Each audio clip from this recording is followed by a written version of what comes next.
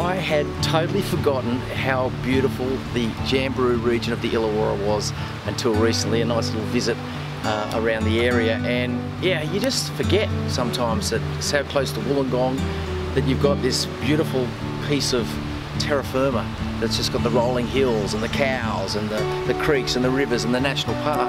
Uh, I've found this little spot called Falls Cottage, which is an absolute dream. It's just so quaint and cute and uh, the cabin itself or the cottage it's very rustic but it's got all the mod cons it's got everything you could want for a great little stay the cottage itself has a beautiful little outlook there's a creek running behind it so you can probably hear the creek running right now uh, great little kitchen bathroom of course a lounge area nice little deck out the front with a barbecue it's got everything really and love the bed the bed's on this little loft so you uh, crawl up there at the night and duck yourself into the, the comfort of the, the bed and just you know chill and listen to well the sounds of the countryside.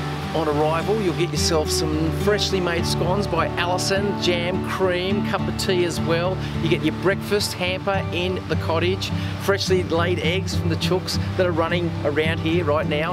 Uh, it's just a really lovely little spot, and all that for under $200 a night. And of course, that comes with uh, the internet everybody needs, the internet these days, so that comes as well.